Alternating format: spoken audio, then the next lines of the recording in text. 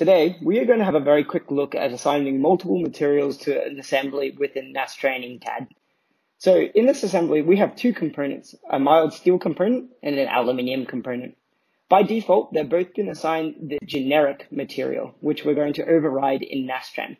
So we'll get started by going over to Environments and click Nastran in CAD. In Nastran, the mesh is assigned to all parts that are a part of an idealization.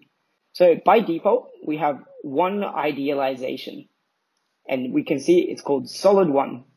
Solid one is assigned the generic material.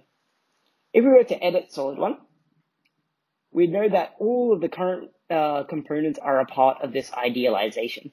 We can change this by clicking associated geometry. And here we'll select all the components we want to be a part of this idealization. So in this case, we'll click the mild steel component. We'll come here to change the material from generic to mild steel.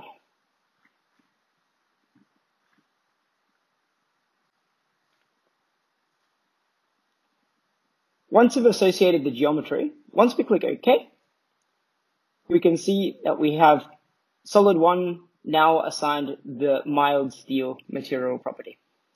Now look at what happens when I click generate mesh. You'll notice that only one of the two components has a mesh now assigned to it.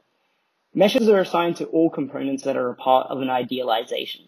So what we're going to have to do is create a new idealization and add the aluminium component to it. To do that, we'll click Idealizations, Associated Geometry, select the aluminium component, and we'll assign a material aluminium 6061 to the idealization.